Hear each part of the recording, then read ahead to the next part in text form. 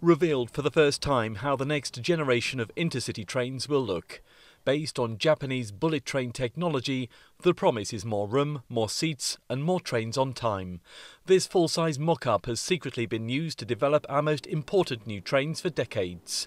This is standard class with a radical new seat design allowing extra room.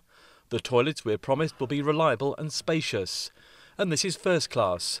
Some of the trains will be able to run on electricity and diesel, allowing for better reliability when things go wrong. We want to make sure as much as possible that it's a design for the future, but also that we take into account issues from the past that can then be changed to make sure that the, uh, the, the passengers get the best experience they can. The government-backed project will replace Great Western trains dating back 40 years. British Rail built the uh, existing high-speed trains in the mid-1970s and they've served us all very, very well for a, a, quite a long period of time. But the new trains are on their way and they're going to bring Japanese standards of reliability to the rolling stock here in the UK. It's tremendously exciting times, more seats, more capacity, uh, faster journey times and more uh, reliable trains.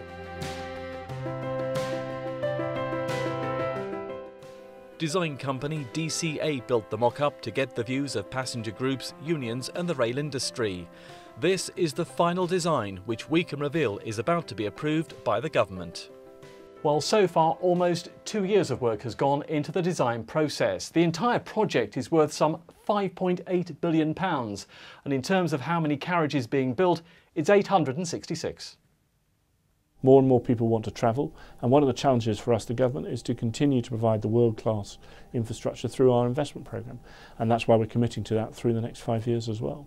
The first trains are now being built by Hitachi at Kasado near Hiroshima for testing. Most will be assembled at a new plant near Durham, creating almost 1,000 jobs.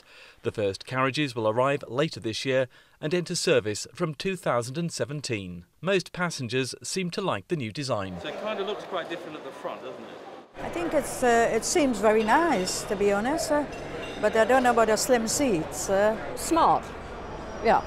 Whether they'll stay smart is a different cup of tea. But no, they look smart. I don't know what, is it all artificial? Vinyl or something, I presume they're made of.